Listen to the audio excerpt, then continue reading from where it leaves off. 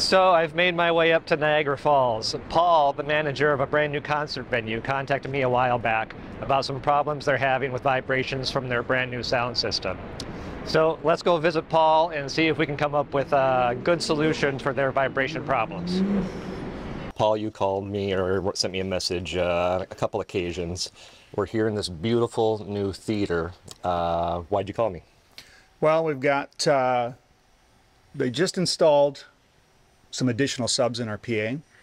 And ever since they installed them, the two VOM cams are unusable. So we're attempting to kind of isolate them and get them out of trouble from, you know, the vibrations that are coming out the room. Well, we certainly want to be able to use the cameras. So uh, let's throw a couple isolators on these things and see what happens. Very good. Very good. Okay, so this is the first test that we've set up. Uh, here we have the camera that's having an issue that's uh, installed on some two inch pipes.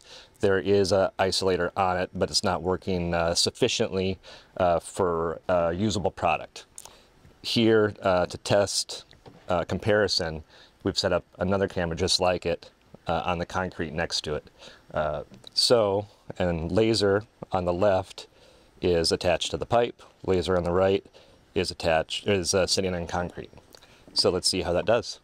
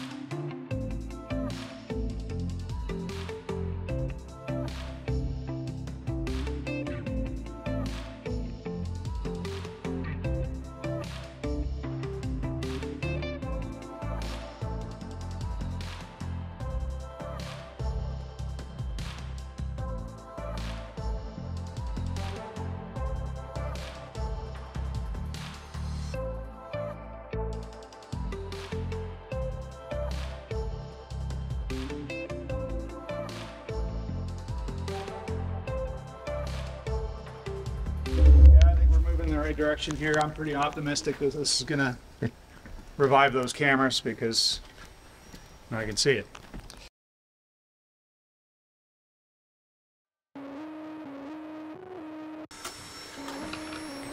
That. Uh, just give it support so you know it's not falling. That's about it.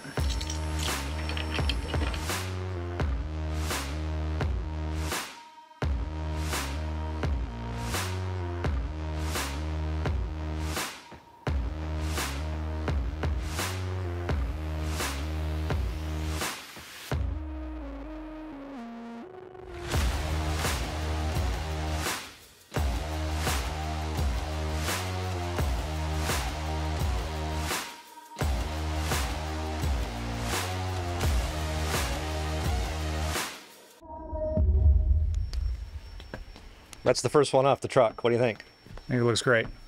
I think you saved the cameras. So, no, I think it Let's, looks uh, fantastic. Let's play a couple more tracks and see how it does with some other frequencies. And uh, yeah, we'll do some sweeps and yeah. stuff, but uh, that's uh, that's that's pretty impressive, I think. yeah, no, that that just that's done. Like you know, if we improve it from this, but that's that puts me back in the game.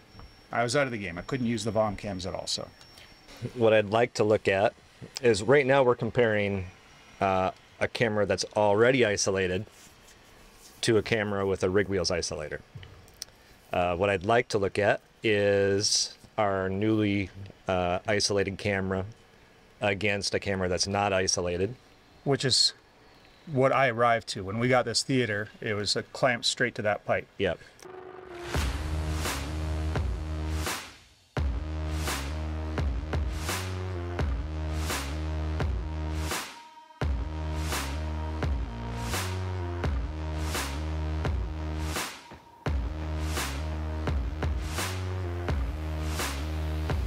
So since we're working with uh, cameras and fixed installations now, we can keep these isolators super soft because we're not on a car. We don't have to worry about them uh, uh, being a shock absorber. All we're doing here is isolating vibration, so we can keep these nice and soft. Because the RigWheels isolator with the cabling is so loose, what we're testing here is to see if there's any rebound when the camera pans from one position to another to make sure it's not swaying when it lands at its position. Go ahead, hit it. It's rock solid. And back again. We budgeted two days to figure this thing out. And what time is it now? Uh, it's been two hours. There you go. Uh, And it's resolved to a level that we are thrilled with. I personally, uh, I'm. It's exceeded my expectations, especially at this. The, that's the worst case isolator that I brought. Like I could have gone two more levels uh, for more isolation if it was needed, but this was the most convenient to install uh, in this scenario. So yeah, this has exceeded my expectations, and then uh, maybe yours. Absolutely. We're, uh, you know, we're in a position now that we're going to return both cameras to the VOMs, uh, and they're now usable. In fact, they're beyond what they were because we're fully extended on that lens, and that shot looks usable on the test pattern, which says to me if I want to get in on a keyboard player or a drummer or whatever I need to get tight on, I can now use the entire length of the lens, whereas before we still wouldn't even use the whole lens with my isolator on there. So Right. we're, we're, we're way ahead of the game at this point. Well, thanks for uh, contacting me, Paul. Uh, I have been wanting to do a real world uh, install case study about these isolators for a while, and I think this proves uh, how effective they are.